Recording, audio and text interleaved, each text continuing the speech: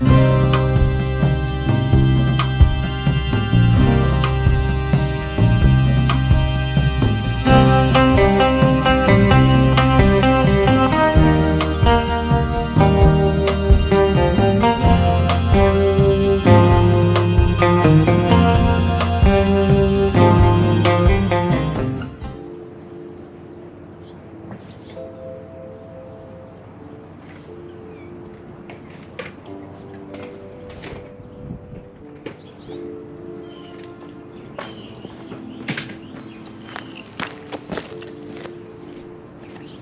know, one of my favorite things about this ham radio hobby is packet radio. Many of you that watch my channel probably already know that I do run a BPQ 32 packet node in the Panama City, Florida area. I guess my love of packet radio stems from my childhood. I grew up in the 80s. I had a Tandy 1000 computer, it was the family computer, and I spent many hours dialing up local bulletin boards and playing games, chatting keyboard to keyboard and sending and receiving messages. I just I loved it. When I got into ham radio, I learned about packet radio and found out that you know a lot of the things I did as a younger person I could do as an adult using ham radio and it's always really fascinated me linking a computer to a radio and being able to communicate that way. You know, so I've got an IC705, I've got a Raspberry Pi, I've used KM4 ACK's Build-A-Pi to get some ham radio tools onto this Pi and use it successfully. I've used WinLink, Packet WinLink, uh, ARDOP WinLink, things like that, and some other uh, ham radio tools on there. But one thing that I am missing from this Build-A-Pi is a terminal emulator, something where I can call up a bulletin board or a local uh, local packet node and and use a keyboard and chat keyboard to keyboard send a message send a message to somebody else just using the keyboard. No no fancy graphic user interface nothing like that. Just a simple terminal emulator. It's missing so I did a little research and I found a program called Linpac. I found a website that showed exactly what I needed to do to get this Linpac program installed on my Raspberry Pi. And I've played around with it in the shack here inside and it seems to work. So today I want to take it out and operate in the field and do some packet radio, terminal packet radio in the field and show you what this Linpac program is all about. So let's go out to the park, Kensall Park, for a little bit of packet radio fun.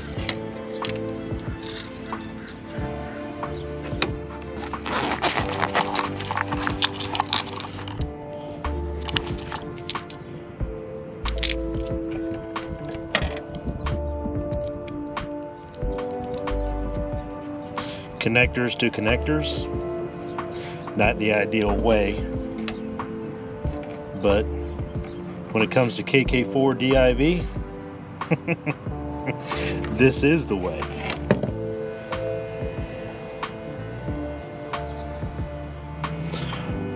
I discovered something the other day.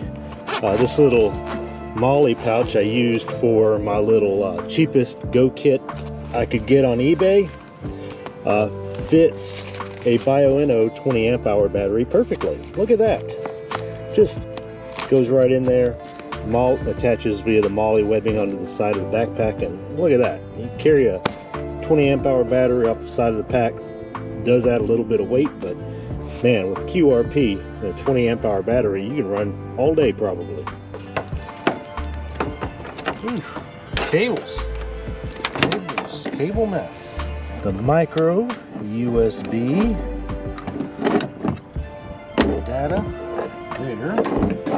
this cover off. Polycarbonate cover looks great.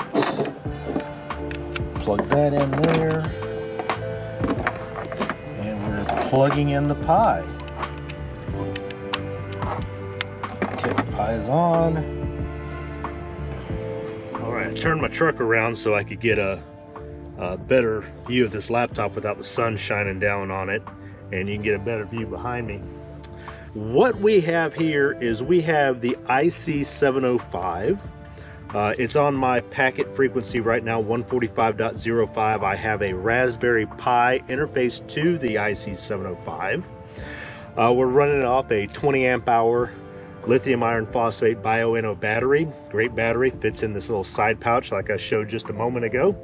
And we're running into a Slim Jim J-pole, a roll-up J-pole. Oh, that's only, you know, maybe 10 feet or so up in the air. And we are a couple of miles from the house as the crow flies. So uh, we're going to see about signing in to, if you heard that, that was my station beaconing uh, at the house. Uh, we're going to see if we can sign in to our uh, the local node here, my node, KK4DIV-7, and uh, show you how all of this works with uh, the Raspberry Pi and uh, remoting into the Pi using this tablet. All right, there is still a crazy glare on this screen. Man, I wish I wish I had a better way of doing this. But this is the interface to the Raspberry Pi. This is the Raspberry Pi desktop. The first thing we want to do is we want to click on this FL rig and we're going to execute this. So this is going to turn on rig control. See there it is, rig control for my IC705. It's showing 145.05, 145.05 just to show you if we turn this it also changes there, 145.065, but we were going to want to be at 145.05. That is the frequency of my packet station.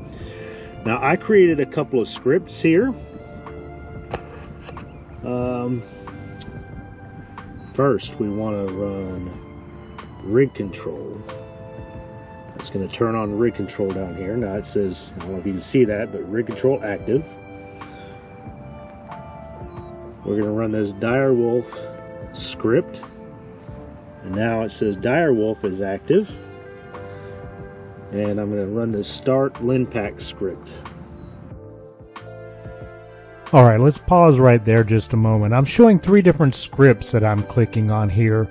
Uh, one to start up Direwolf, one to start up uh, the connection between Direwolf and FL Rig, and a third one that starts Linpac. Uh, I wrote those scripts. Those are three separate bash scripts, and I'm going to go into that more detail in a future video where I show how I got everything up and running on this uh, Raspberry Pi. Today, I just wanted to bring you out with me and show you it all working together. Okay, if you can see this, now that we've got all the uh, scripts running to get everything connected. We're going to type in in a new terminal window lin pack L-I-N-P-A-C all lowercase hit enter so there we go and now this is the linpac screen let's see if we can make that nice and big it can be I don't know how well that shows up. Sorry, guys. I wish I had a better way of doing this with this glare, but it is what it is. I'm outside, and that's what 73 Outdoors is all about, is being outside when you're doing this kind of stuff. I gotta put colon C for a command. KK4DIV-7. There it is. All right. So packet node in Lynn Haven, Florida. And those are the commands. So we type in BBS.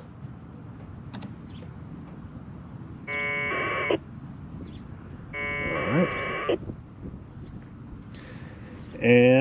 We're going to type in send personal SP. And I'm going to send a message to my friend Ken up in Wisconsin. Yes, W9GM. Error 2. Oh, I got to. Duh, that's rookie mistake. Send personal to W9GM.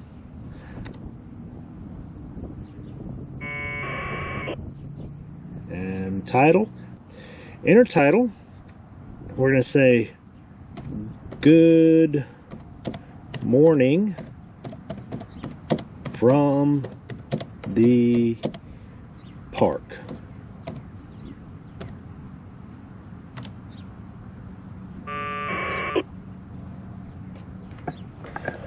All right, so then you just type away. Hi, Ken.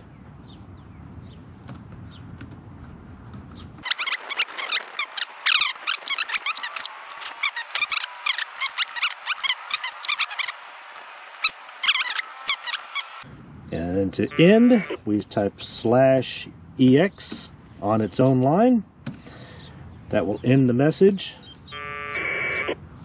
So it says message is saved. And then we can type from here, we can also see what messages we have. So if you type in LM, it's going to give a list of messages that are that are to me. So these are some messages I have that have been sent to me. Uh, you can list last 10 this will list the last 10 messages on the bulletin board.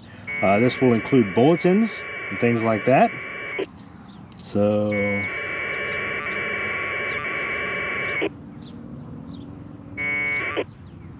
yep, so this is the last 10 messages. There's that uh, one I sent to Ken, W9GM.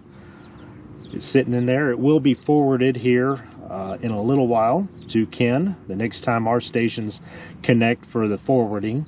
Uh, that will be forwarded to him and that will change from PN to PF uh, for personal from personal new to personal forwarded. Uh, you can go back to the node. This takes us out of the bulletin board and brings us back to the node. It says return to node. Question mark will give us the commands. Once again, we can type in nodes to see the node list of all the nodes that are I'm currently connected to. So this will give us the node list here once it goes. Go. Now we're going to start receiving the node list. So anything you can do uh, with a packet on a command line into a into a node, you can do with uh, this Linpac software. Uh, really enjoyed playing around with this at the house. This is my first time bringing it out to the field and using it. So there you go. You can see all the uh, nodes uh, that you can access from mine.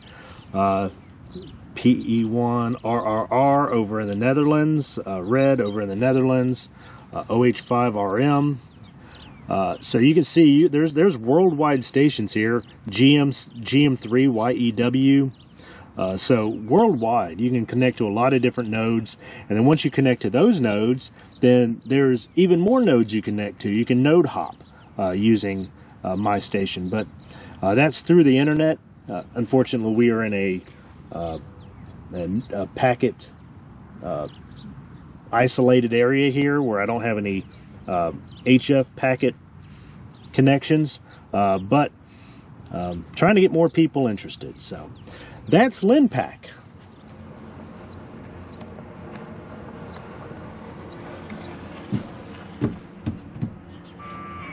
Morning. Nope, not fishing. Nope, ham radio. The police always want to know what I'm doing. Talking to Chinese spy balloons.